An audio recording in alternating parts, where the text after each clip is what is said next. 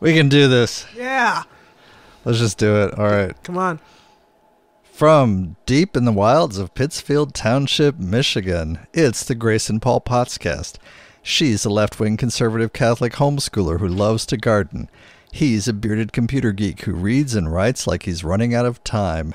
Together, they're raising an ever growing army of adorable children and planning the revolution. I use that actually uh, as a level check, Yeah. like in the finished file to verify that I'm have the the levels set correctly. Oh, so there's some use of the wolf call? it's not just some stupid thing I do. Well, I, I had talked about you know I keep wanting to produce a whole blown a full blown um, you know trailer with sound effects. I've looked for like coyote and wolf sound effects. I think we're going to have to record them. We might have to. Well, we don't actually have wolves in our woods. No, but we have coyotes. we do. Close enough. And actually, coyotes make a more disturbing sound. Yeah, it is a little disturbing Right. It's very unsettling. Like, you know, they're they're coming out because there are a lot of them. Yeah. there are Yeah. a lot of them. They're making these un- unholy sounds. Yeah. Yeah. So you might hear in the background uh, water, like a water tap running. Yeah. Our boys upstairs are washing their feet. It was time. Okay. They're all they're all clustered around the tub, hopefully doing a good job washing their feet and hopefully not flooding the bathroom. or like smearing dirt on the walls. Yeah, because their feet were so disgusting. They would go barefoot a lot, A lot, and um, it kind of Builds up. Yeah, Yeah, but no, we're barefoot around the house and the yard a lot here. right. Yeah, so it's par for the Uh, course. so and uh, yeah, okay. So um, we're r- running late today. We Shocker. missed a show last week because we that just actually is a bit shocking because we usually tough it out somewhere. we usually tough it out. We just just was everything was getting to be too late, Too late, too much. and there's honestly I feel my brain overloaded with too many topics to talk about. hmm So I think um, we're gonna have you read your talk and say a little bit about what Front Porch Republic was. That, Yeah, what the- the, the conference the was. conference was. Yeah, because uh, uh, Solidarity Hall and uh, Front Porch, I think, are just about the only places I could direct people to on the web to say, yeah, that's that's my kind of conservatism. That's where Your I'm at. kind of thing. That's my thing. That's what I'm doing. That's this what I'm talking about. is my jam. this is my jam. Yeah. Uh, so yeah, I mean, I, I there's a little bit of me over at American Conservative, but I, I Yeah. don't think it's wholly reflective of my values. Yeah. But uh, Solidarity Hall is front Front Porch Republic really is. hmm Yeah. Okay. Um, so there are a couple of organizations. Uh, uh, you know what? And Strong Towns is too. Strong Towns is my kind of conservatism. yeah. And um, Urban planning, the, the urban planning and this commitment to um, sustainable growth. sustainable growth, solvency, and actually serving the people that live there. Yeah, these things, the conservatives have no place in their lives for these ideas. These ideas. Really, seriously. issues. Uh, so, um, so those are three places that if you are like, so what do you mean you're a conservative? What the hell is that? Yeah. So like you know you want to burn gay people at the stake? No, I Actually, want to no. conserve things. I want to conserve things. Uh, truth and beauty specifically, but yeah, Yeah. that's what I'm about. I, I want to conserve culture, you know. Exactly. But- So you know, so to flesh. Not, I don't yeah. just want to conserve it. I want to create it and I want to spread it and promote it, you know. But What are you, some kind of like white savior? What's going on? but th- this, um, so I, I know people are like, so what are you even talking about? You know, left wing conservative. Yeah, well, those are three places you can go on the web that might. yeah, and maybe Yeah, you'll get a turn you in. sense from this talk. We were just talking about how you are you do consider yourself a feminist. Yes. And this is actually coming up organically because tonight Dun dun dun. and I, I'm I'm avoiding spoilers um, because we haven't seen it yet, but it's already happened. Mhm. Was the premiere of the Thirteenth Doctor, Doctor Who? Yeah. Yep. And it's a woman this time. It's a woman this time, and we're kind of taking, we're trying to set our expectations low. Let's just say, Yeah, and not because it's a woman, but because um, the writers know that it's a woman, right, right. right? and It's you, you may have noticed that conventionally, Yeah. women aren't handled well in the no, media. no, Yeah, female And- characters, women's roles. and you know, I get a lot of pushback when I talk about this but I do believe that uh, Steven Moffat exhibited an awful lot of misogyny in just a his in his. To go scripts. Well, he has gone home, so Thank the God. show has a new showrunner. It's time. But it is, I think, confusing because it doesn't make any sense continuity wise to say, oh, yeah, no, the doctor could have been a woman all the time, all along, right? It's just we've had 12 that have been white men. You yeah. know, Now suddenly now suddenly it's like this. it's like this and it, but that no he could have regenerated you know if you're flipping coins and you flip you know 12 heads in a row you've got a defective coin or you know you've had the world's most amazing streak Streak. of of luck Yeah. And Right. if anyone would have a, an amazing streak of luck, it would be the doctor. But, but Sure. point taken. but it's a, it doesn't so continuity wise it doesn't really make any sense that the doctor was fundamentally male and is now a female character and uh, that's just how like the show was i mean his character regenerates but his personality somehow i don't know is there probably get pushback on this is there a male and female personality his personality somehow his his uh, his gender was somehow I, embedded in something that transcended all these regenerations right Right. the core of his being that that was preserved across regenerations was male. Right. Uh, at least that's what it seemed like. That's what they were communicating for the last 50 years. Right, right. Yeah, So- more literally over 50 years, right? so uh, they uh, but uh, what I'm wondering, are they going to have some in-universe explanation for why he is now he, a she, you know, so You know, I will have to walk up, get up, and leave if the in-universe explanation is that he's trans. okay. I will have to just leave well, uh, the, because uh, that's. a I, I don't little know. too ripped from t- today's headlines. A little, too, a little too rip- well, and and not just. It's a bit. Um, you know what's that thing when people take the language from an oppressed group? Yes, yes. That that's it, it was just it would just be too sickening for me to even Yeah, watch. it's um cultural appropriation. It's, ba- it's basically a form of cultural appropriation where, like, oh, yeah. we're we're doing it too now. See how cool Yeah, we are? right, I- right, I, I just I don't want to be there for that. yeah, they don't need cred in that way, Please. right? But you know, I do want to give this new showrunner and, and a he- chance. a chance. But and I have to say the the I the last couple seasons of Capaldi had a handful of great shows. Yes. like holy crap that was amazing shows Yes. Right like like hugo worthy Yeah. Well, and, and, And lo- was there to deliver. right He just wasn't getting a lot of good scripts. but a lot of them they just weren't written that well No, and he so. really tried he tried. He but could. if he's got a lame confusing muddled overly complicated script Then um you- and a lot of those shows were just that overly complicated too many plot elements too confusing not focused on the characters not focused uh, you don't feel a peril you don't feel a No, an nothing. arc you know it's just like huh this is Look confusing I, I either think, that or they or they raised the stakes in the first opening seconds to be unbelievable where do you and they did there? that a lot too like oh the universe has been destroyed and the doctor's dead like okay well then you're watching with like disinterest Like, yeah, because you're like well Whatever. uh, whatever you know It's already happened. so if if the worst possible scenario has already happened in the opening before the opening credits you know then you're kind of like oh, all Oh, right fine I guess I'm here now.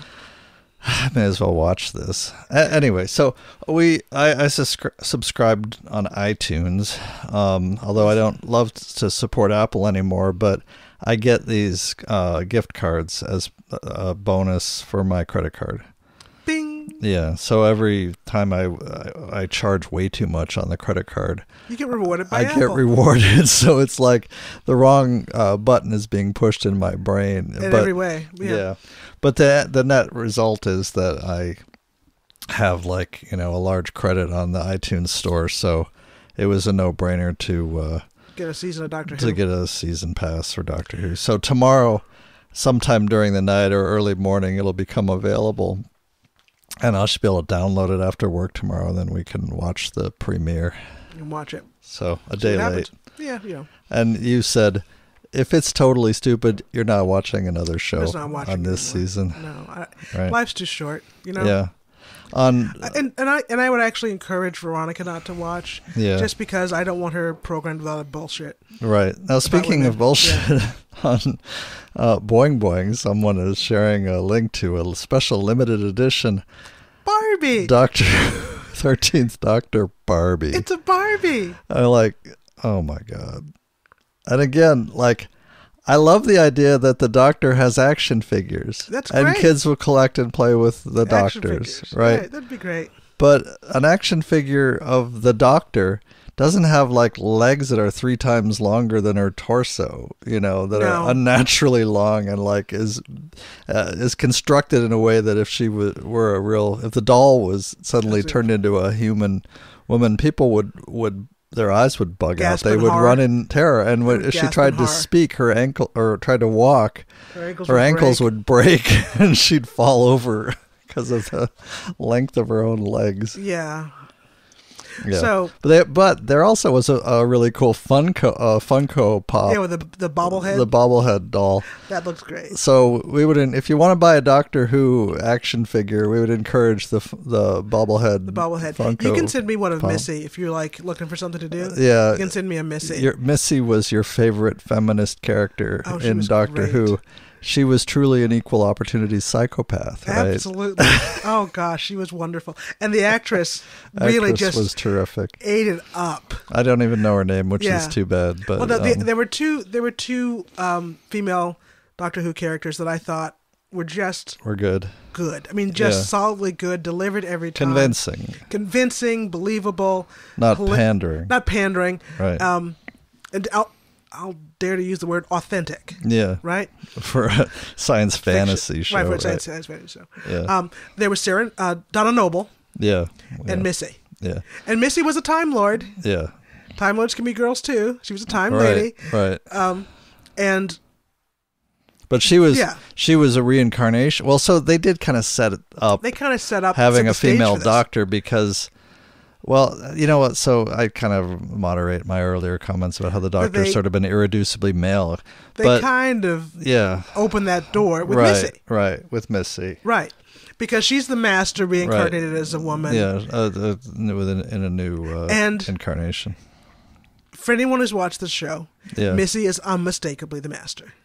yeah, absolutely, Absolutely, Personality wise. Personality wise, Yeah. I mean, it's all there. Yeah. So, like all the Steven Moffat things that he wanted to do about how women are crazy, yeah. he could He actually got to do it. he got to do it without like insulting women because the master right is because crazy. the character is already well established Established as as, a, stone cold, cold soci- psychopath. psych, not just uh, yeah, psychopath, psychopath, right? right? And gle- glib, glib and gleeful, and pretty much, psychopath. despite the doctor's best efforts and even the character's best Best efforts at time to like to Like, re- to to change To dial it back and just to- come back to, like, reality. to like be be redeemed in some way. It's Just like, no, can't do it. not who I am. Not who I am, not what I'm about. Yeah. So, so Steven Moffat could still be a misogynist and and have this great character. It seemed Yeah. like a you know, good match. Yeah. I don't know what happened with Donna Noble.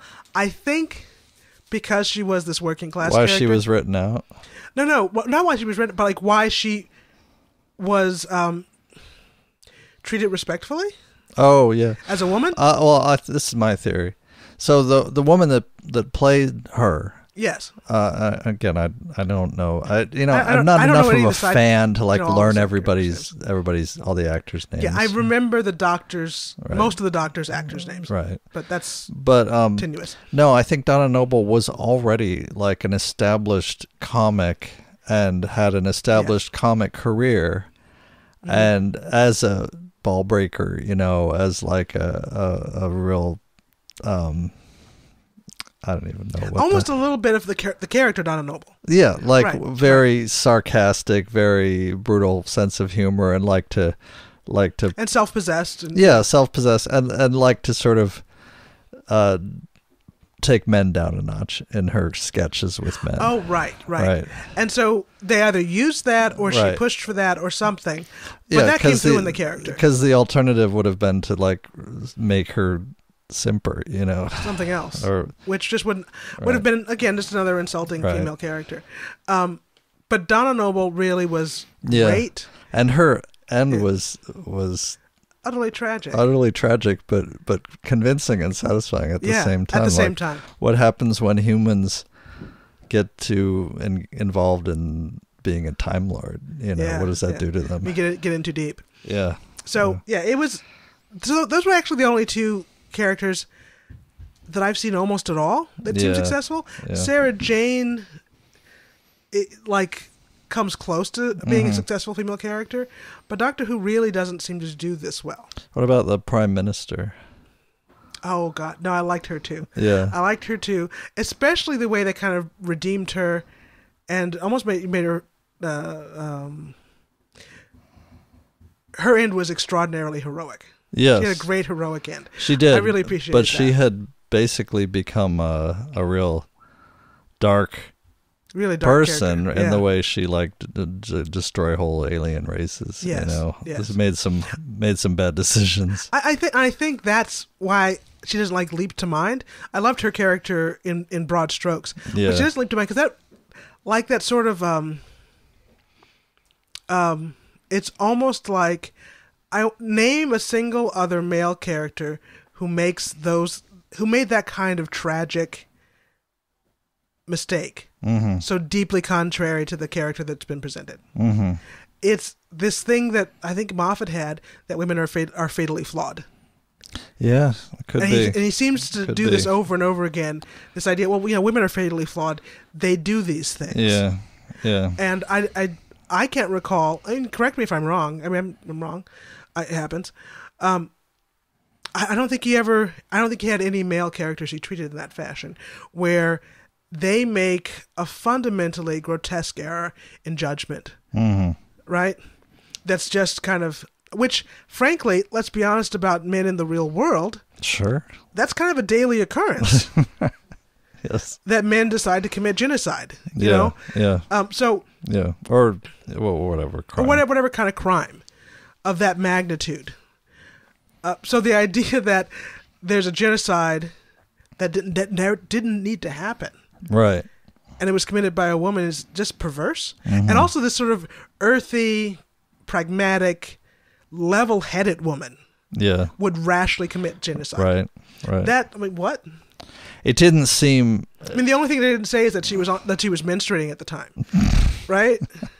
It it seemed out of character to me. So, I'm not yeah, sure don't know. why. It did seem like a leap to have her suddenly.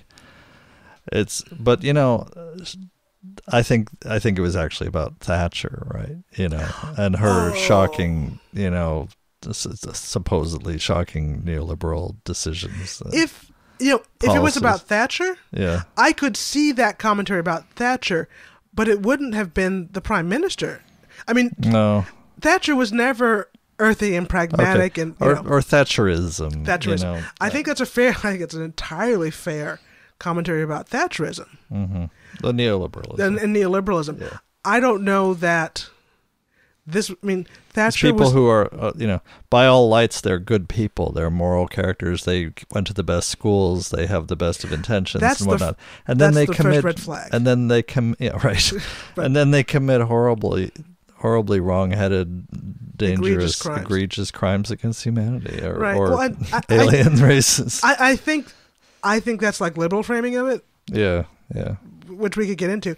But, but, Thatcher was not a country bumpkin, No, no. right? Which is who this character was, Yeah, right? So that's true. She was like, yeah, didn't she? She came to power because she was like the last surviving the last surviving person with person cab- in uh, in cabinet, right? Right.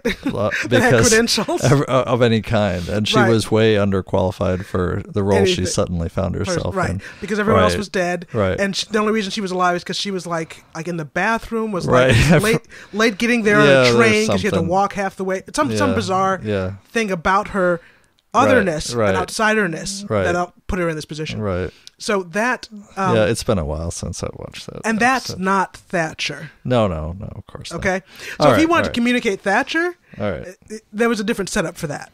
Yeah. Um, and uh, you know what?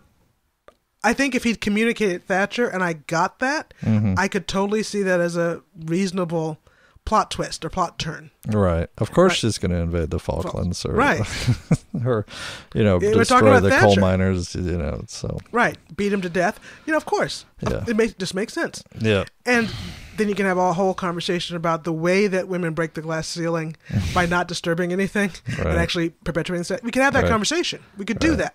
He wasn't trying to do that, uh, No. in my opinion. Yeah.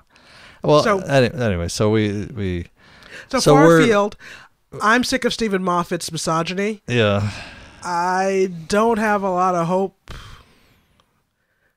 that this is going to be a generous or even fair treatment no of a strong female No. character. no, and But, I've you know- I've had I had issues even with the recent um, Capaldi episodes with the way the treatment of um, Bill Oh yeah, yeah. and you know I although yeah. I really did like ultimately I like the actress. ultimately I liked the actress and I thought she did great work in a couple of the shows. Some of the form- performances were amazing. were were downright amazing, Yeah. but I didn't like the way some of the scripts uh, Yeah, used her. So anyway, So we're we're like we said, I'm cautiously optimistic that maybe this new series will be worth watching. But I'm we're not optimistic actually, but, but okay, but lowering our expectations and ready to Uh, ditch it if it's just yeah yeah, and I can't watch that. yeah because I'm basically getting it for free, right? Right. So um, yeah, We're not watching that. So I mean, I, and I, and I that the boys could watch it. I think it actually Yeah. would be more damaging to Veronica, to Veronica to watch Yeah. women portrayed this way. Yeah. So, you So, know, if she's uh, Doctor Who Barbie in the show, I'll, I'll be the first to delete the files. So, Thank goodness. Yeah. Thank goodness for that. So, all that to say, Doctor we- Who's coming up. we may have a review next week. Yeah, probably. We'll see. Yeah, we'll see. I mean, I may not feel like it's worth commenting on. Yeah, it may not. It may not be. If it's just like a mediocre show, just yeah, it's just Yeah, not. There's more to on. more to talk about. Right. Um, Yeah, there's there's a lot of news that I just feel it's not worth commentary. did you want to talk about? Um, let's. You had a comment about the significance of the Supreme Court appointments in in most people's lives, and how that seemed to be like an overlooked thing with the people who are who are really becoming very en- enraged and engaged in the Kavanaugh nomination. Oh, was this the the white feminism thing? Yeah, Oh yeah, this whole meltdown, this sort of like public meltdown yeah, about Kavanaugh, is a white feminist thing. Yeah. It's not like it's not a feminist thing. Um, it's not, or it's not a universal feminist thing, well, it, it, well, feminist feminism is universal. right? It's a white feminist thing. yeah, That this is. um Oh gosh, it, this this is not to say that sexual assault is a white feminist thing. no, It, it's really not. I No. think the the the real issues around se- sexual assault, um, are. It's the fight to have of, in feminism now, right? yeah, and they're not even. It's not even limited to women, right? Yeah, It's not even limited But- to women, right? Yeah, But I think women should be leading the leading Sure. the vanguard, right? Yeah, Um, but this is possibly the most cynical use of identity politics that I've seen. mm-hmm. Like Mhm. the most cynical. Yeah, That we're gonna just that really, as far as I can tell, the Dems wanted this mm-hmm. to foam people up and bring them to the polls. Yeah, They had no intention of taking any serious action to prevent Kavanaugh right. from being confirmed. And in case people don't understand enough about the the process because it's been so broken for so long, Right, there are lots of things the the Democrats could have done right, to um, forestall this, right. Right. And, and they're up to and including just refusing to show up for the vote. You can just Right. not show up to vote because if they don't show up for the vote, we can they the Senate Yeah. can't do this. Yeah, So and the they Senate also literally can't do this without the Democrats' yeah participation.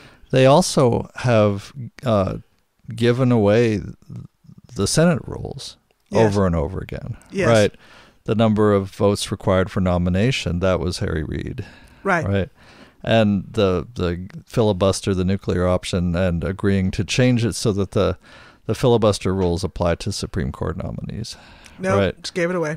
That's all things that the Democrats compromised. Compromised on. and gave it away. And that's why those things exist, is Yeah. for these situations Right. where there's a very close Right. deadlock. Because if you look at most past Supreme Court nominations in Right. recent history, most of the justices were confirmed um, in a in a vote that tilted very hard in favor in of favor them. of them. Like Right, 60 or more, right, 70 or right. more. or even like, or even like, Like un- unanimous, unanimous. has happened. So, right. That's happened. It's not. In It's actually not history. in recent history. It's not unusual even no. that sometimes it's a unanimous vote in affirmation and, of and that's candidate. a political move where everyone says, you know what, we think we can live with this justice, and we want to demonstrate unity. You Right. Know, right.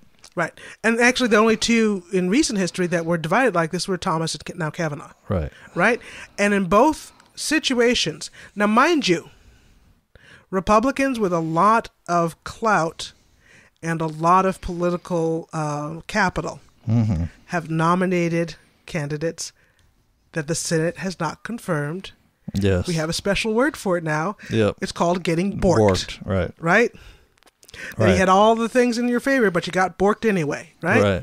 Um, so they can do this. Right. They could have. They could have done this. Yeah. They chose not to do this. Even the ones that were allegedly swing votes just Please. got their fig leaves. please, They got their their cover. right? And so, um, so what I actually want to make clear is that the Democrats decided to stop doing this Yeah. with Thomas. right. They So decided to to to stop, Stop standing bothering- up for for you know anything. anything. But that's you know. So in other words, we decided with Thomas that sexual assault was not a big deal. yep. We made that decision. Was that 21 years ago? Yep. Am I counting right? I think I may be off. I'm sorry. Oh, But, it's been uh, a while. Uh, but we made that decision in the early 90s that this is not a big deal, and we actually don't care, Yeah. and we're going to put that man on the court. Right. Now, the Democrats decided then that this is something they're going to take action about, Yeah. move forward with, or actually make a stand about. right. So, since we already know that about the Dems, Yep. the act of dragging this woman out in public for this dog and pony show It was just cruel and perverse and about hopefully getting a few votes in November. Yeah. I mean, it was craven. cynical. It was cynical, craven, and depraved. Right. Now I want I want to make my position clear, and I've been like, ho- I was hoping this weekend I would get a, enough downtime to actually write an essay on the Kavanaugh Oh, nomination God and just us read it. downtime. But um, but I do want to make my position clear, which is that I found Blasey Ford's testimony to be extremely convincing. Oh, I, I didn't say that, but I, I It- feel like that you should feel be a like given. that should be a given, right. and I, that I don't. and I don't know, doubt anything she's saying. So just I. I don't actually doubt her. However, it would also be a lie for me to say that given all the political weight and money behind this, behind these parties, and all the machinery behind these parties, Mm-hmm. that can I say for sure that this was not some kind of an operation, a you know a false flag operation, uh, that she wasn't a crisis actor or what? Can I say that with hundred percent certainty? I cannot because there's so much money and stress on this nomination, right? Actually, what I will say, can, can I Sure. come back in? So, I will say, I'm convinced. I know she's not a crisis actor. Okay. I know that this isn't. Um, she wasn't paid and this wasn't staged, right? I'm pretty sure she wasn't paid. because I'm pretty it- sure we, she's not a crisis. We've had people try to pay women to come forward before, and women don't. Yeah. Like no one yeah. shows up. Well, I suspect that some of the later accusations that these these ambulance like Avenatti and whatnot were were bringing up very well could have been they they were, were like trying to muddy the waters at the last minute, right? I don't know.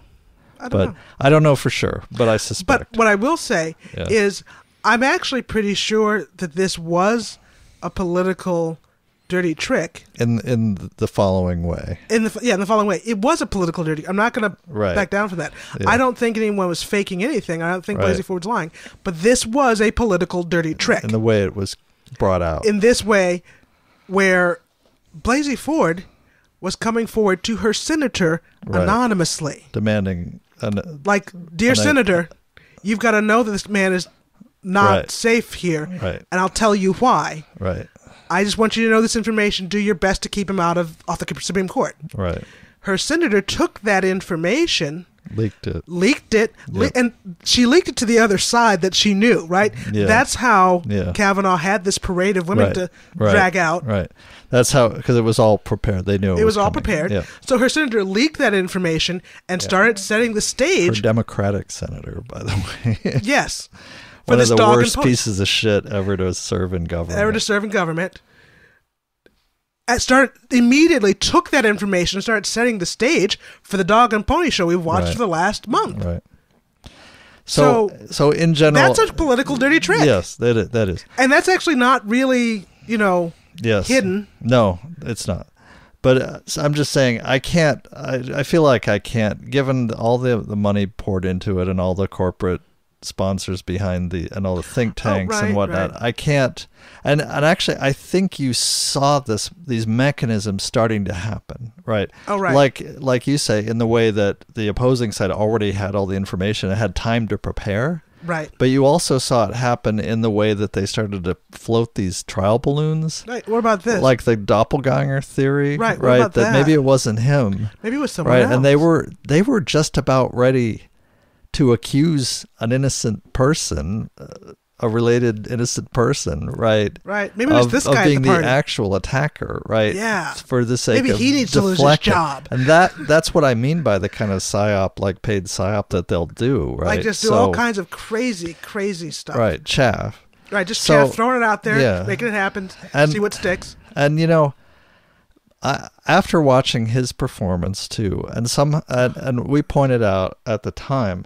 Well, first of all, I should say I he really triggered me because he, to me, is every prep school, every college, uh, overprivileged bully Every that I've ever known, Yeah. and yeah. he just lied and deflected. uh, Didn't On every comment, and actually attacked his interlocutors. it's hard for me to imagine. You know, It's- I'm pretty privileged. Right. I've never done that at a job interview. you know, It was and I take a lot of license with a lot of yeah, things. right. I mean, you're Yeah. pretty. I, I've actually in the interview process when I realized I have actually gotten to the point where I realized this is not the job for me, and I've calmly suggested to the interviewer that he doesn't know how to run a company or fire or hire people or work with employees. Right. Right. And he was demonstrating that in the interview process, and I so that I am not interested in working with him. You know. Right. But that's But I said it calmly. well, you said it calmly because you decided not to take the job. I didn't want the job, right? right. He wasn't telling them. no, he, he didn't want was the job. going to, and I mean that performance was so remarkable until you decoded and realized who he was, who he was talking who to. he was performing for. yeah, he wasn't performing for you and me. Right, No, right, he was performing for his base. yeah, for Trump's base. Yeah. And to say that this man is partisan is like, uh, you know, there's not even a word for how partisan he he behaved and and came off as. Right. Right. I mean, not even for his party per se, but for Trump, you know, and Right, for the right. mo- the the power opportunities of the moment. So again, yeah, I think the Dems may have pulled this strategy wrong, yeah, and like actually pulled a strategy gambit for the other side. yeah. I'm really having a hard time believing they're actually opposite sides. They are not. That's the I, I just it's hard for me to like. that's where we are and that people people don't want to believe that and they're absolutely convinced that you know it had to be the stein voters that fucked this all up for like, everyone dude, right no, it's your people are your people Right. suck. Okay, yeah they just do. yeah yeah and here here we saw that right and we saw and what's no Joe? I'm supposed to vote for Joe Manchin because he's a Democrat, right and I don't He's like explain that to and me. he's but he's a democrat and democrats are going to save us from these awful republicans and uh, uh, i feel like drool's coming out of my mouth Like, listening to this Ga- I can't even hear anymore. So Right. this is this is actually the news Yeah. I don't think is worth, with commentary entirely. yeah Um, I, what I will say is, so what I do think is news is that we're entering another Cold War. I think that's news. Yeah. Also, while this was happening, the same day that the the the news cycle was entirely occupied by Kavanaugh's testimony, they rammed through a whole new package of tax cuts, right? More tax cuts, more tax b- blew tax up the cuts. deficit beyond even bigger, beyond any you know Yeah, rational, yeah. And they did that without any news coverage, Yeah. right? Unless you're on Twitter or following I was concerned RT. about the war games going on in Norway Right. on the Russian border. But to find out anything about But- that, you've got to follow RT or Sputnik Y- or yeah, you've gotta follow other news sources or to you know right. And even those news some of those news sources, you kind of have they're to pretty neoliberal too. Right, they're pretty. Yeah. nib- You kind of have to read what is effectively the the Enquirer of of, Yeah, of website news, web, uh, Yeah. you know, online news.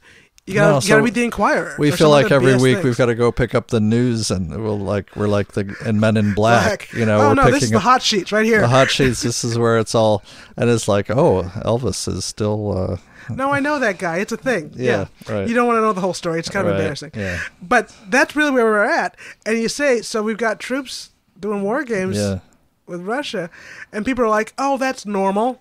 yeah. It's normal for a Cold War. Right. And you Right. think that Cold Wars are normal. Just That's terrifying, Learn, learn how to pronounce this. Uh, what seven syllable word? Because it's going to come in handy. It's already uh, come in handy. Right. Neo McCarthyism. Neo McCarthyism. Yeah. All right, I'm there for it. So that's hear about it. that's the Russian uh, scandal, right? Yeah, That's, yeah, it's Neo McCarthyism. It's been kicking around for a while, but Right, It's and- yeah. And so this idea that it's normal for us to engage in war game war game escalation, where Mm-hmm. the Russians and the Chinese do a war game and are like, "Huh, yes, see, we're tough. yeah, I'm Well, watching you," I- and then we do the same. right, that's just business as usual. yeah, That's not what people do when they're not engaged in a Cold War. right. When it, they're trying to de-escalate, When we're trying to be between things wars, and try to be between wars and try to actually Yeah. not get into a territory that your Cold War could turn hot, right. right? Right. Like in Syria, for example. Jesus. Uh, yeah, you, you don't. You, So- you want to talk about Yemen too, but we're not going to get Yeah, we'll talk about- today. Yeah. But- So these are the things that the news that I feel is yeah, worth all being driven off the stage, driven off the stage Right. by all this bullshit Yeah. with Kavanaugh. Right. And mean- the Dems want this stuff Yeah. on the stage, so we don't talk about Yemen and we Right. don't talk about because Syria, they're because they're com- totally there for all the They're there all, for it. all the military and they don't talk about military um, adventurism. Cold War escalation with Right. Russia. right. That's not part No. of the conversation. No, but So- like I said, Kavanaugh kind of triggered me, and especially in, in his speech, which I only listened to, I didn't even watch. But just like, you know, just the the asshole privilege of his, You know, I gotta just, tell you, you know, he triggered me as as like um, um, what like you're a trash wannabe yeah, because he's there. He like you know he went to Yale and he did Yeah, this and he Jesus. did that, but you know he can't afford like whitening strips, you know. and he's like in debt. He's got these all these financial problems. it's that like he, he he wants to be. there are so many reasons why he should have been investigated, uh, uh, including where he got all, how he got out of debt, how he got into debt. Yeah, these Uh, are good questions. Yeah, and who he's in debt to, right? All these, all these questions, and like you know, why, don't- why don't you talk to all his clerks, yeah. right? Why, I like why is all I that think on the they've table? got and, stuff to say. Yeah, I think they they've got stuff to say, but you know, I th- and people who are saying, well, yeah, that never prep schools weren't like that. I went to a prep school and stuff like that didn't happen. I'm like, I went to I went to a private college with a guy who lived down the hall, and he killed a man. family in a drunk driving Yes. accident, and came back the, The next, next semester, semester. right? This shit This is normal happens shit. This all is the time, norm. right? And This uh, and like people saying they weren't having they weren't gang raping girls, and like they weren't loud about it. like every Only weekend. every weekend, yeah. That's all. It was not daily, but yeah, right. weekly and, maybe. And the culture of date rape at the time was such that like all the 80s movies, including some Joked about that, that you like Sixteen Candles joked about had it. jokes Porky's about was all about it. was jokes about date rape Right. and and having sex with unconscious drunk girls, right? but yeah, Right. And so, you know, honestly, he may not be lying when he tells us that he does Has no this recollection never, did not happen. He has no rec- recollection of trying to rape this girl with his friend at all. because he was blackout drunk. Yes, Right. that could actually be true. Right. And it sounds, it sounds like he was a blackout drunk to me. And I'm There's- just, I'm there's just a lot of- guessing from the guys that I knew at prep school. Right. Right. I'm just making an educated was guess. even you know even in my even in my fancy Presbyterian college, there were a lot of junior alcoholics, you know, Yeah. or wanted or flirting with alcoholism. Yeah. and So it's just Yeah. like it's laughable that people would say that's just not that's not the kind of thing. and it's also laughable that he would claim somehow like in his defense that he got into Yale, right? Like because he busted his ass. Like Please. actually, if you look at the history of like entrance standards at the time, Yeah. Yale let an awful lot of people in who were legacies, and he was a legacy, He was a which he lied admit. about, He was the legacy admit. right? Yeah. which he lied about. Yeah, well, that's the thing. Legacy He said he didn't have a connection to Yale. don't His actually have to grandfather, work hard. That's grandfather went you to Yale, to know. right?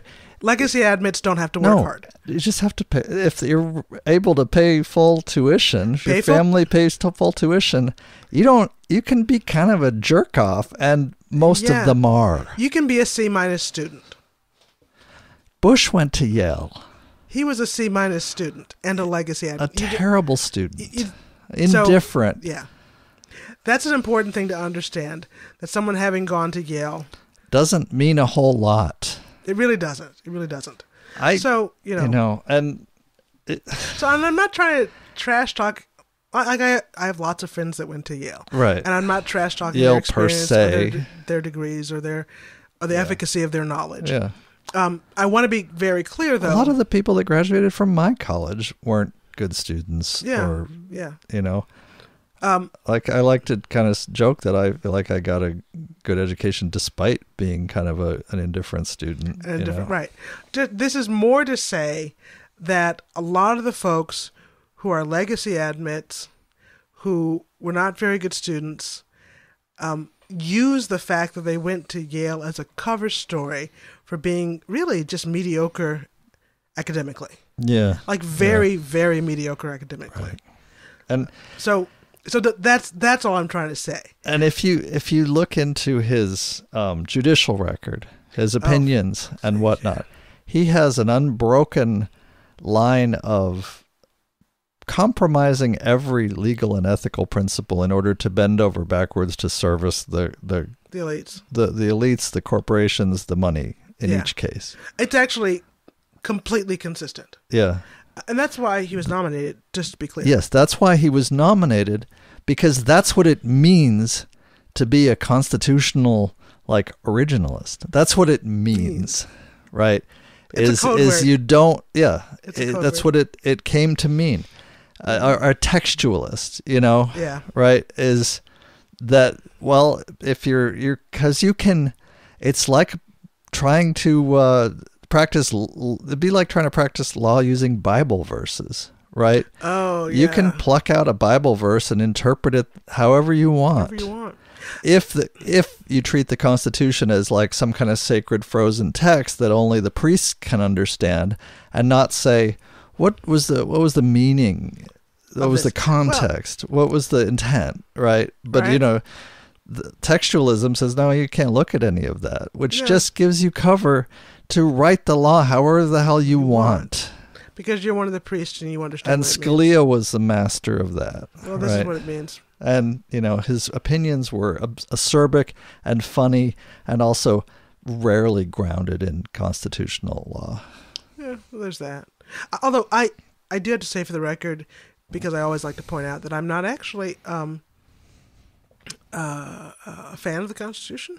yeah Um, you, you do talk about how the articles of confederation would have been a base, better basis to build a country right Yeah, a much better basis. Um, the federal government would have not nearly such remarkable sweeping powers. yeah A lot of these things that we're looking at now would not be legally possible hmm with the Articles of Confederation. Um, also, um, and I think the textualists, right? They're like a rigorous, you know, constitutional originalists. Um, they're onto something. Um, it was written by a bunch of guys for their own benefit, and the war was fought for a bunch of rich men. white male landowners Yeah, Yeah, for their you know for their benefit. right and they're like, "Hey, these artic- these articles are fair. Uh, we're gonna Right, have to we have right. to rewrite this Right. so we get all the money again." Right. so they did, right. That was federalism. and that was federalism. Yep. Yeah, Um. And Hamilton. yeah. So I'm not a fan of the guy. Right. I'm not a fan of his document. Right. Um, No, you're more Jeffersonian. yeah. So if you had to pick a pick a founder, Uh, you know, I, I really as a as a person, I, I prefer Adams Yeah. as a person. Yeah. A, as a thinker, I'm more Jeffersonian, like as Yeah. as philosophically. yeah. Um, but Jefferson was a real piece of shit. they, they all had problems. Oh please, he was a piece of shit. Adams had problems. yes. Jefferson was a piece of shit. All right. So that's yeah. You can't say that, Grace. I, you know, Just did. just did. Okay. I'm gonna check the recording and um we rambled longer than I expected to in Oh, the yeah. intro, but you know what? I'm here for it. So, especially when we didn't plan a show or get to prepare. But you're going to I'm going to check the the readings and you're going to read your talk and you Yeah. want to introduce the Front Porch Republic. yeah, I'll, I'll introduce it first. Okay. I'll be right back. Okay. Good deal. And uh, you want to give me a nod that it's all good before I do a reading. So, uh, Front Porch Republic is a um, it's an online magazine or website that uh, their tagline is "Place limits liberty," and every year now for a few years I've gone to their conference, and next year is going to be their tenth annual conference. Um, and basically, it's a bunch of guys that were college friends that all ended up being professors that saw conservatism going to hell, and we're like, you know, we should talk about some of the things that we value that neoconservatism is just like shit, you know, just flushing down the yeah. toilet. Yeah. And so they so they did, and they invited other people to write with them and talk with them and publish articles and essays on this website. And that's pretty much all it is. They're trying to keep some of these ideas in the conversation because the conversation you may have noticed has gone to hell. But um, some of these ideas that are valuable and worthwhile, they want to make sure they are part of the the uh, information exchange that's going on amongst people on the web or just in the world, Mm-hmm. so that that uh, these points of view don't fade from the fade into obscurity. I mean, com- I mean, if they're not obscure already, right? So that said, I would direct you to their website. Take a look. I will probably in the next month. Please go easy on me. Try to get this published word for word, like my actual manuscript, Mm-hmm. published with citations. So I'm not going to have all my citations together for you tonight. It's just not going to Yeah. happen. But I'll have citations on that that I publish on Fe- Front Porch Republic, so you can see and go back and look for yourself. Cool. Okay, so I'm just reading now. Just read. Yeah, I'll try not to interrupt too much. things are not always as they seem. So the more things change, the more they stay the same. That phrase is attributed to Jean Baptiste Alphonse Karr, but is so widely applicable I think I've heard every public speaker use the term at least once. It is also true, especially true, when we turn a critical eye towards the last 50 years of the black community. Now, I hesitate to use the term progress to describe or frame the last half century, or anything, really, that is a personal bias. I don't believe in progress as a thing, but rather there is an unavoidable unfolding, if you will, of the consequences of our collective actions and inactions, our successes and failures to be who we are and what we are called to be. And that unfolding is inescapable and cyclical. We seem damned to make the same mistakes over and over again. It might seem on the surface to be progress, but in fact, we're just looking at an illusion of layers and layers of consequences. So, given that framing, I'm more interested in taking an honest look at what is and what we want to do next, rather than exploring the whys. Not that the whys are unimportant, far from it. But the whys can become philosophical and abstract, whereas hopefully we can all concede the fact of what is and have a conversation about the actions we want to take next. And as a side note, I think a lot of the whys explain themselves when you start talking about what you did and what you'd like to do next. So, a few caveats. First, I am not a sociologist. I am a Midwestern housewife, and I can read. These statistics are gleaned from government documents and reports and placed in juxtaposition to each other to try and assemble snapshots of, two, of uh, 1968 and 2018. Second, there are some huge data collection gaps between 1968 and 2018. I tried to get dates as close to, to, to uh, 1960 as I could. Sometimes I found numbers from 65, sometimes 71, so I would just use the closest I could find. And third, I'm, I'm comparing American black folks to either all of the United States or sometimes to white folks and not breaking out numbers for Asians, Hispanics, natives, African immigrants, and so on. Because nearly all the data from 1968 does not list these sort of breakdowns in the data. So it's challenging to make a useful comparison on those metrics. Onto it. Family and social life. Until 1960, for black men, and 1970 for black women, blacks were actually more likely than whites to be married. According to the U.S. Census, nearly 90% or more of black men were married almost always to black women until about 1960. Similarly, until about 1970, nearly 95% of black women were married, usually to black men. Currently, 32% of black blacks are married, and 20. Uh, I messed this up in the talk too. Oops. Currently, 32% of black men are married, and 26% of black women are. For comparison, 48% of all American adults are married. Currently, almost 70% of black children are born to single mothers. Those mothers are far more likely than married mothers to be poor, even after declines in child poverty. They are also more likely to pass that poverty on to their children. Sophisticates often try to dodge the implications of this reality by shrugging that, you know, single motherhood is an inescapable fact of modern life, affecting everyone from upper middle class singles that choose to adopt after starting a career to so called baby mamas. Not really. it's largely a low income and dispor- Yeah, disproportionately disproportionately black phenomenon. The vast majority of higher income women wait to have their children until they are married, and to be very specific, you know, abort any children they have early on. Yeah. Um, the truth is that we are now a two family nation, separate and unequal. One is thriving and intact, and the other is struggling, broken, and far too often black. Demographics African Americans are, as their name suggests, those with ancestry dating back to the African continent, usually with ancestors who were part of the transatlantic slave trade.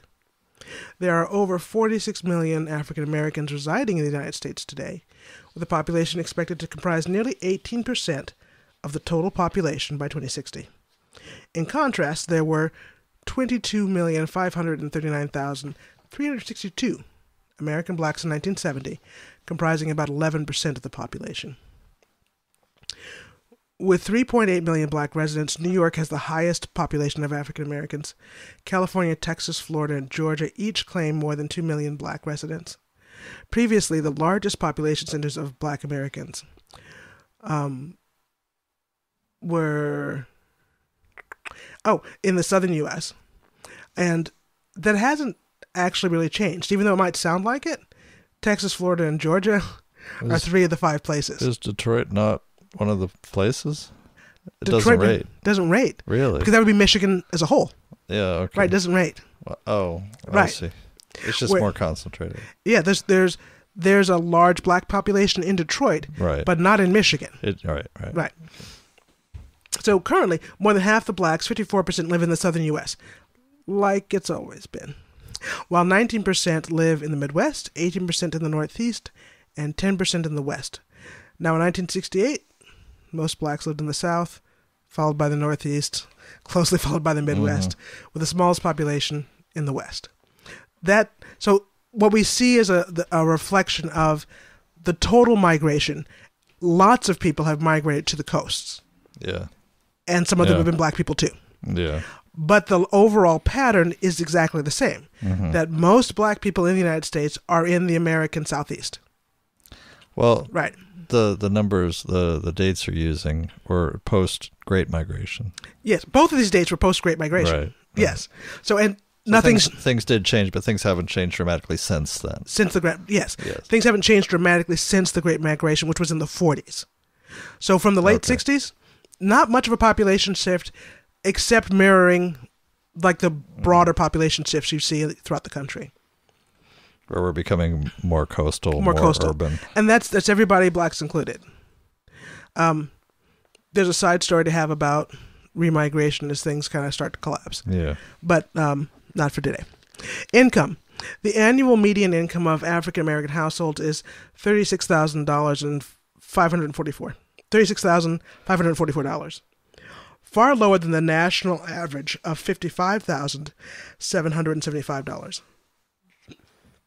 In 1968, national median income was seven thousand seven hundred dollars. That's fifty five thousand nine hundred ninety five dollars in two thousand eight dollars, two thousand eighteen dollars. So, median income has gone up two hundred dollars since nineteen sixty eight. I just want you guys to hear that. Mm-hmm. Just pick mm-hmm. that out for yourselves. And for Black Americans, the median was four thousand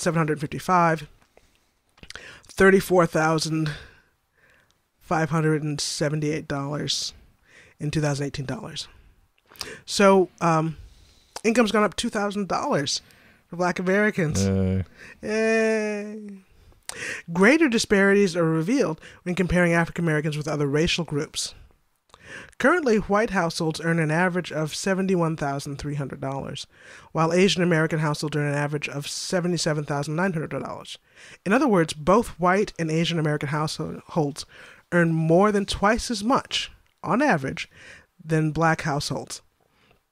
Meanwhile, in 1968, the disparity, the disparity was smaller. So, blacks have made more gains on average mhm. than the national population. Um, but the disparity was smaller. There was com- more. It was more compressed. Right, right. White households only made 1.6 times as much as black households in 1960 in uh, 1968. That's a actually a term f- historically about what happened economically. It was called the Great Compression Great Compression. of exactly. incomes. For where- right, yeah, post uh, Gilded you know, po- Right. post Depression, as incomes grew such that the incomes were sort of all growing and, and the extremes Right. were flattened. extremes are flattened, all incomes were growing. That was a trend. We've reversed that trend, Right. and, And- you see it's particularly in marginalized communities. And the Right. the trend was not it's just something that happened to happen because of you know capitalism. It was the result of very specific taxation policies. That was Keynesian. and- that was Keynesian yeah, economics. It was planned and wanted Yeah. by the economic system. Is It was- Right. just so you know, that was the U.S. using a planned economy. hmm Okay. Yeah. Um, so the disparity was smaller, and the disparity has grown. Poverty rates: more than one in four, uh, twenty-six point two, African Americans live below the poverty line, compared to an overall poverty rate of fourteen point eight percent, and a white poverty rate of nine percent. Nearly two in five, 38%, black children live in poverty, compared to 22% of all children in the U.S. Meanwhile, in 1968, child poverty for all children was much lower at 15.3%, while, while child poverty in the black community was only slightly higher than it is now at 39.6%. So it's nearly unchanged, hmm the rate Yeah. of poverty uh, among black children. Employment and unemployment. Among all communities of color, African American workers have the highest unemployment rate. As of January 2018, the African American un- unemployment rate was 7.7%, nearly twice the national average unemployment rate of 4.9%. By comparison, unemployment rates stand at 5% for Hispanic workers, 3.5% for white workers, and 3% for Asian American workers. In 1968, black unemployment was roughly 6%. White unemployment was roughly 3%. That disparity has remained mostly the same at almost every point for the last 50 years. Um, since you know we're using a planned economy already, hmm I just want you to know that some things aren't accidents. Right. Right. Educational achievement. In general, African American students attend the lowest performing school districts and have significantly lower test scores than students nationally. Only 18% of uh, black fourth graders were proficient in reading, and 19% were proficient in math, compared to national averages for reading and math proficiency among all fourth grade students. Third, uh, were 36 and 40% respectively. When even the even the high numbers are incredibly low. Yeah, yeah, high numbers are depressing, right? When it comes to completing high school, 91% of African Americans have earned their high school diploma. By comparison, 97% of Asian Americans, 95% of white Americans, and this one stood out to me 81% of Hispanics have attained at least a high school diploma. These, these disparities expand when students enter higher education. While the college graduation rate for while the college graduation rate for white students stands at 62%, only 42% of African Americans earn a college degree. In 1968, high school completion in the black community was only approximately 30%, while in the white community, more than 50% earned high school diplomas. The college completion rate was at 4 and 12% respectively. So high school and college graduation rates have risen dramatically for all students over the last 50 years. And that seems impressive except for when we note that reading proficiency in the fourth grade has not changed in 40 years and in the black community has dropped. Yeah. So somehow we have far more high school and college graduates, but fewer of them can read. I'm not sure what happened. Yeah. I, I can't, I don't have a compelling single sentence explanation. Um, but that's not, this is the numbers. field of study either. Not my field of study. Yeah. But these are the numbers. While the wage and income gaps between blacks and their white counterparts are wide, this is wealth. The racial wealth divide between these groups is even more pronounced. Black median household wealth is at $3,400 compared to $140,055 for white households, meaning African Americans have about 2% the wealth of whites. Much of this That's can be pretty amazing. It's just breathtaking, honestly. Much of this can be attributed to disparities in home ownership, as housing is known to make up two thirds of a typical mm. household's wealth. Home ownership rates in the black community are virtually unchanged over the last 50 years, and the total value of black household wealth has dropped dramatically. In 1968, black median household wealth was $2,467 which would be just over $18,000 in 2018. So black household wealth has dropped to one sixth of what it was 50 years ago. You, you have a one sentence explanation for that? um, white flight. Yeah, the, the the, the a lot of, with a lot of it has to do with the loss of their housing capital. The loss of housing capital over the last yeah. 50 years. That's where all that money went incarceration. The share of uh, African Americans in prison or jail almost tripled between 1968, 604 of every 100,000 in the total population, and 2016, uh, 17, uh, 1,730 per 100,000. The share of whites in prison or jail has also increased dramatically, but from a much lower base. In 1968, about 111 of every 100,000 whites was incarcerated. In the most recent data, the share has increased to 270 per 100,000. In 1968, African Americans were about 5.4 times as likely as whites to be in prison or jail. Today, blacks are 6.4 times as likely as whites to be incarcerated, which is especially troubling given that whites are also much more likely to be incarcerated now than they were in 1968. So, this is where we were, mm-hmm. where we are, and there are many things that would seem to be different. You know, so there are more black police officers now. There are more black mayors. More women torturers. More, more women, women, torturers. torturers. There, you know, there are more black faces on TV. There are more black faces in in uh, entertainment and media, and uh, there's lots of representation. And there are many people. Some of it's positive. Uh, you know, many people will say that representation matters, and I, I, don't. I don't entirely disagree. It counts for something. I mean, it's something. I, I don't. I don't entirely disagree. Um, what What I ask is, what compromises did this person have to make to To to become a become the representative. the, black token the black token, newscaster or actor or whatnot or what in, have you. in a sea of white faces. Yeah, And oftentimes it's pretty apparent. you yeah. know, when you it's, look it's at grotesque. like the politics, the Yeah. yeah. So, and be- different for the better. In fact, many would tout so-called progress. But what we actually see when we compare then and now, we see stagnation or lost ground. And not just in the black community.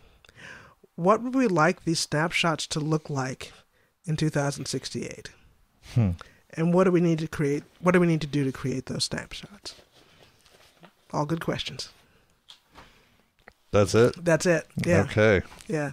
So I field a lot of good questions. We had I, I it was really well received. Yeah. Good. I and. I feel like especially for this audience, it was this sort of like, you know, there's no good way for us to talk about how things aren't changing. Unless we talk about how things Aren't, aren't changing. Exactly. Right.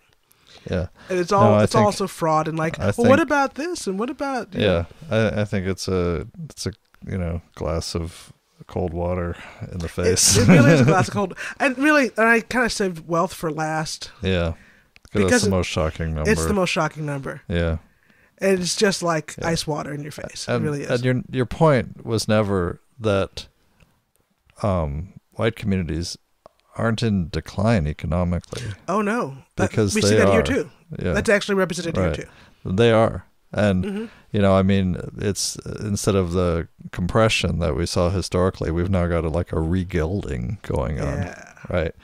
I'd call Um, it the Great Fleecing. Yeah, yeah, and where you know the middle class is failing, the white middle class, Just you know. floundering. But meanwhile, while while people are are you know still relitigating the 2008 housing crash and how people lost everything, for the black community, it's been you know literally life and death. Life and death, and Yeah, uh, like a slow motion train wreck for the last thirty years. yeah. It's like, the, in other Right. words, the first twenty years of that Right. period, right. there were still gains that you could kind of hold on to, right, right? right. And maybe if you roll the dice, you might you might win something. Yeah, in the same way that Detroit is the city that that uh, you know every Amer- uh, every is the needle that every American city has to pass through. This economic collapse, uh, the middle Yeah. class and the poor whites have to go through it too. To go it's through just that too. the the, Yeah. the blacks were more vulnerable and it hit them harder first because they Right. had less of a Less of a cushion, less, less of a wealth cushion, less of a safety to guard the blow. Yeah, Yes, yes. right. So, um, so yeah, all the the misery and pain that we've seen Yeah, writ large for the last ten years right, is literally the last thirty years of experience for Black Americans. right. So it's always strange to me when you know white liberals freak out about Donald Trump's election. Like, Yeah, I don't know what and I don't know. and Or they also, freak out about you know, you know, the I- Supreme Court. Hey, I don't know what to tell you. people are rightfully concerned about how some Supreme Court decisions that do affect everyone, you know, that, that do Mhm. affect, you know, like say your right to sue your employer, your right to be Mm. compensated, your right not to be killed on your job. You Mm. know, they do ha- have r- the right to worry about that. But you are, I believe you are right in this sense that, you know, the, the entire, uh, um, spending literally uh, two solid weeks of news Wall cycle wall news cycle on on, on a Supreme Court nomination because of this candidate and because of Roe, right? You know, Please, yeah, th- this is what I have to say to all of that. Right? Yeah, there, there's Anita Hill was trying to explain this to you right, in the early '90s, right. There's And so the Democrats much, didn't want to hear anything about right. it. Right. They're not serious, They're not serious. Joe Biden thought it was unfair right, to Justice Thomas. right, You know, Right. people have been telling. right. He was practically Right. he was practically um Hill's, you know, prosecutor. right? Yeah. yeah, Yeah. So, So, you know, I just have to say, you're freaking out now. yeah, People have been telling white liberals about this for a long time. yeah, And they've kind of been like covering their ears and going, la, la, la, la, la, tech bonuses. yeah. Yay. Yeah. But I do also always want to welcome anyone who like just woke up, Oh yeah. right? Or is because. I mean I st- have I a cup still of tea. I'll bring you up to date. I still feel like I'm every week waking up more, you know, Yeah, and it's a lot of layers. It's like it's feel like like. Inception, you know, where you got to come out of the layer after Oh. layer of dream you've been living in. Yeah, and, and this is like the only my like Yeah. uh what is it? My my my freak fanboy friends really even picked up on this. Like, here's a little news tidbit that we're just kind of glossing. Yeah, What happened to Julian Assange after Ecuador Yeah. stopped covering Yeah. yeah. What happened? No, there? it's uh, the Whose people I custody is he in right now? the people I'm following on Twitter and the people I these news sources are are talking about these things, Right. and are rightfully concerned about them. Right. Yeah, and meanwhile, a lot of the hyperventilating news stories, like the the that I they do look into, like the idea that China is spying on our motherboards, computer motherboards, right? For example. You look into the actual claim Mhm. made about this tech sabotage thing happening. hmm It's not very important. It's not very significant. It's not what they claim it is. No. Um, it's because yeah. we're in a Cold War. China's bad. Right. No, it's and it's like they already are. I mean, it's like with the Trump administration. Mhm. The crimes that they're looking for have been documented for decades. They're Right. already documented, we know. right? Like the the the um the things we're griping about the this that this uh you know like motherboard hack thing has has revealed all that intellectual property theft we already know about that know about right? it's already happened right? This, this Yeah. is the consequence of our shifting basically grubbing for money so hard that we moved every bit of american tech manufacturing to chinese factories and we're shocked pretend to be shocked that they studied how these things are made and started making them for other people too uh, right? Wow. so Go figure. that Who would have that barn that? door is already open right you know the cows yeah. have been slaughtered. They're, they're not coming back. right so yeah so i don't know take a moment over the next few weeks and look into the news that isn't getting uh, that Isn't getting rachel hot isn't play. talking about that Right. that, That um, not walled. This is yeah, well, of mine. msnbc's not covering This is that interesting. fox If- isn't blathering about I put up a. I posted like you know, life is short. We should argue about politics all day on Facebook. yeah Uh, you know, uh, partly, mostly as a joke, poking fun at myself. Right. I, I like to make most of my jokes about myself, right uh, not about others. And you know, because what do I do but argue about politics and Facebook all day? You know, we have chosen i am rarely on facebook anymore I, Yeah. maybe maybe 30 minutes a week right? Now I and I just try and skim through messages and catch up on like what some of my friends are saying briefly, and then I'd leave. Right? I'm at home with children all day, yeah. and um, that knitting or quilting. Right. I, I've tried to trip my, teach myself to knit so many times. yes. Never been successful. But I actually I need to do something so I don't Yes. micromanage them Right. because I'm a I'm a really terrible A lot of micromanager. a lot of moms find themselves in that position, stay at home Right. mom, where they're like, they it's a lot of the work is pretty brainless and pretty Yeah. stultifying. And- you know. and I don't know about you know you do your your thing. I'm not trying Yeah. to criticize anybody, uh, except for myself. I know I am not a good parent when I follow my children around and criticize the way they tie their shoes or their Every nails every and detail. every detail of what they You do. got to get your mind on something else, Right, So, so you- I- and just listen for the screams. listen for the screams, respond to requests for help, you know, check in that they're on track, And then or, you, know, periodically go tell them to pick everything up that pick they. everything up and you put it all away, yeah, rather than follow them around and harass them. right. Um, because if I don't do something else, that's what I'm going to do. Yeah, I'm a real needle nose, like in your business kind of person naturally. So I need to distract myself. yeah, Um, and Facebook is my favorite way to do that. Like I chat with my friends, I hang out, I read articles, Right. blah blah blah. and when I'm not working, when I'm at home, and it feels like, first of all, it's not really ninety percent, but it feels like ninety percent of the time I spend at home during waking hours is either involved in cleaning up the kitchen, cooking food, or cleaning up the meals afterwards. You know, Oh, it really feels that way. it's not Like it's like all I do every day. But no, it, it's, it's not actually 90 because I true. do manage to take chunks of time now and then to work on my blog, to, To work work on on writing, blog, to and- nap, to bathe, to Yeah, read, to, yeah, you know. and we read stories for the kids and Right. whatnot. But there's not. It doesn't feel like there's much else, and so I have really said, okay, if I do have downtime, uh, and I've been bad about spending too much time on Twitter now, but if I do have time, time I'm gonna try and use it to either read or write. Yeah, yeah. and we've got books piled up, interesting books. I've been, I've been, my blog is coming up on it's well over three hundred thousand words now for the Mhm. year. So Right. I have been writing a lot, and I feel like that's been, even if most of it is tedious journals, right, Mhm. just daily occurrences. The fact of the um, the act of writing it all out has been valuable and has helped me understand how my time uh, works and how my life works and how Where the where it went. and and like what my mind wants to think about and patterns it falls into. Right. you know. Oh, uh, so this started about a, uh, a meme I posted. Right? Yeah, sorry. And it's how I. Um, so I was actually talking about myself and me spending all the time, all this time on Facebook, blathering about politics. And incidentally, I, I don't respond that much um, because it is this sort of like distraction for me. So I'm not it's, yeah, it's know. a real time suck. right.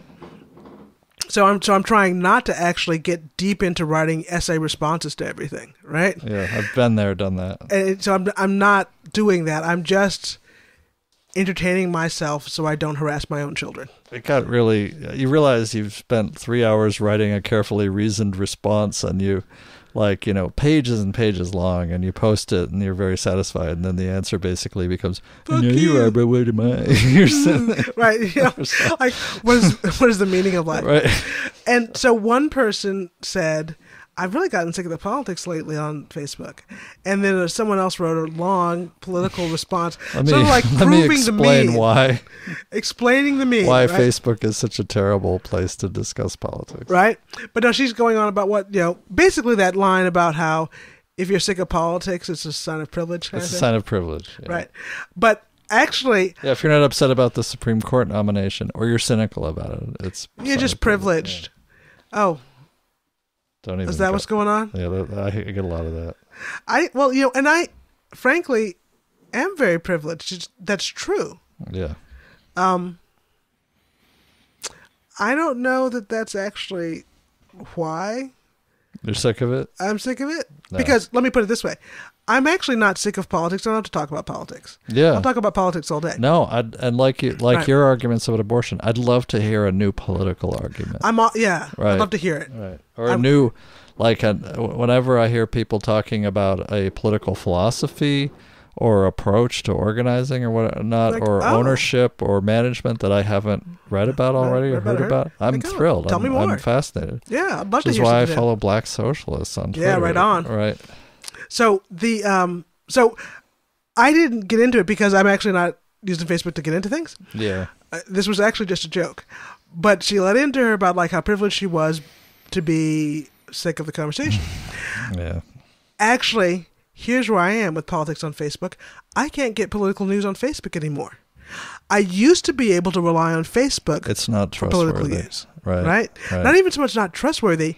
It's become MSNBC, M- MSNBC, Yeah. and Fox News. My Right. Facebook feed is now Right. MSNBC Right. and Fox News. You may have noticed. So uh, there's a lot of stuff, a lot more stuff that's sort of happening behind the Mhm. scenes, right? You may have noticed in the when Kavanaugh was making his statement, like Yeah. it, behind him in the gallery of people with you know like horrified faces, right? Mhm. Um, they look all terribly constipated or something, you know. Right, right off behind, like over his shoulder, was a senior executive at Facebook. Like they're in charge of um, like policy, North American policy for for Facebook or something. Fascinating. And the fact that he was there, Mm-hmm. there was a backlash to that. There was like pro- Oh, yeah. protests by Facebook employees uh, for his presence, Yeah. right? And it's funny that he just happened to show up there and just happened to be there, That's kind of and no one thought that was a bad idea or or there were bad optics behind that. anything really. Right. Right. Right? Just funny, That's funny and weird. interesting. So I'm actually really irritated with my Facebook feed looking like Fox and MSNBC. Yeah, yeah, and the, you know they're they're tuning their algorithm to silo everyone, and, Right. And even and making it even more micro targeted. Right, and I'm t- I'm friends with too many freaks for it to be siloed that Yeah. way. Because if they show me any like, they they would have to really excise huge slices of my friends list hmm for me not to get at least those two sides. Right. But a lot of the sort of um, minority reports that I that commonly come through my feed That that, you used to get. That I used to get are just gone. Right, and that's because they're waiting. Right, Right. of all this. All these The minority points and, like these freak show, Yeah. like conspiracy theories, If the algorithm, really great stuff. Yeah, you if know? the algorithm is tuned to center on, you know, centered left and center right, right. um, stuff that's completely outside its purview will tend to make it oscillate.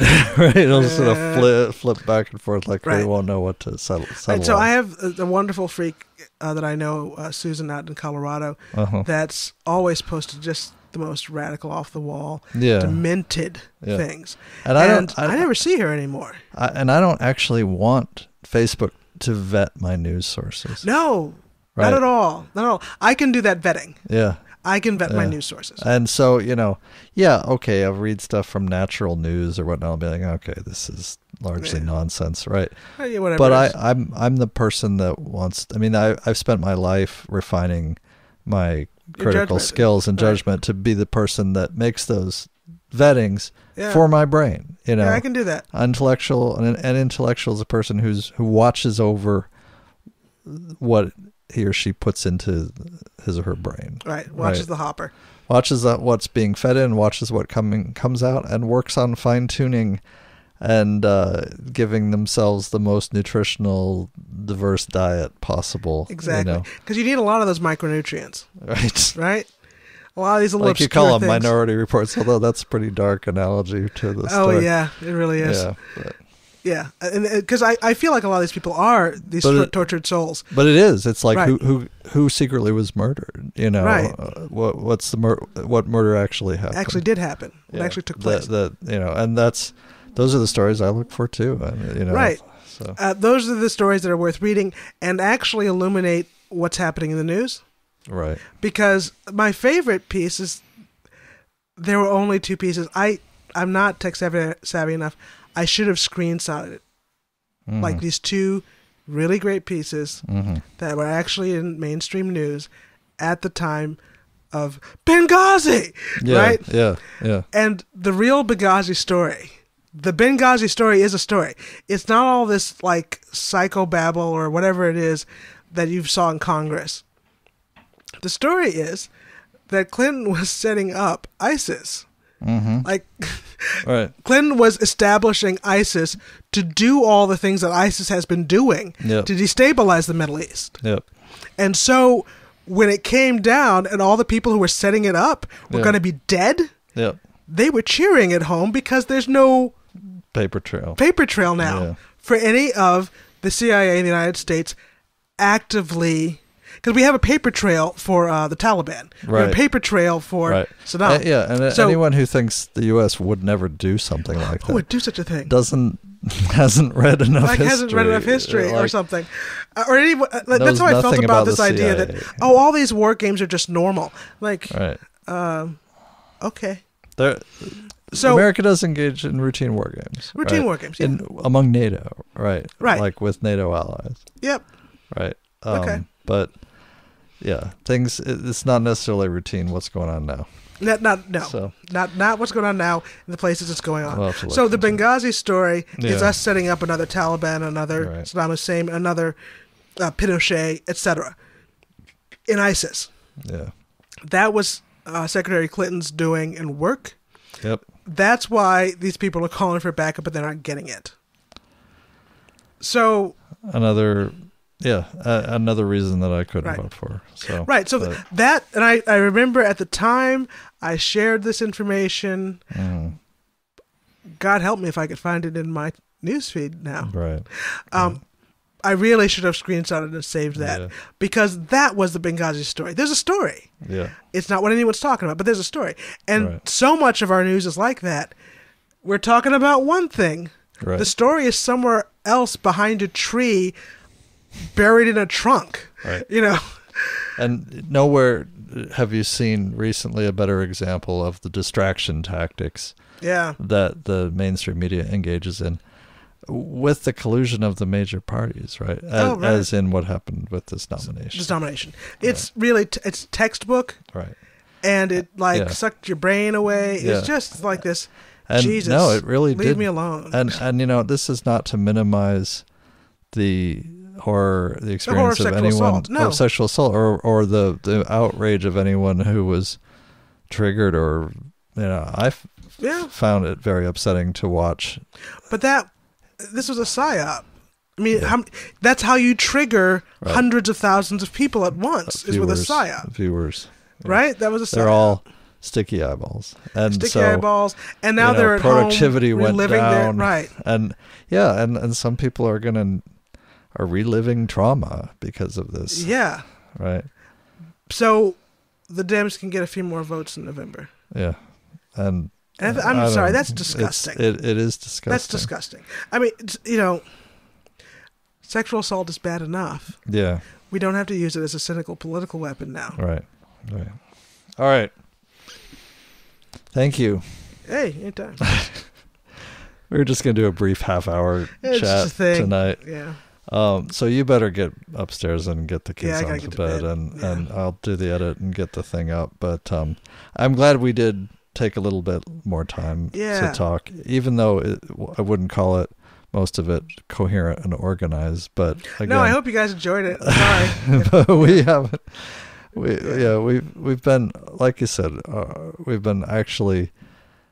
In addition to your organized thoughts that you gave at the talk, right. our brains have been bubbling over with all, All this, kinds of uh, stuff. Because Yeah. in addition to the hugely busy news week and weeks Right. with the stories everyone's talking about, there's a lot of other stuff Stuff going going on. on. Yeah. It's all happening. Anyway, so we're gonna call it. Yeah, that's it. Thanks everyone. Have a good week. You've been listening to the Grace and Paul Pottscast. Check out the show blog at pottscast.blogspot.com where you can leave comments or search for the Grace and Paul Pottscast on Facebook or YouTube. Bye bye. Bye.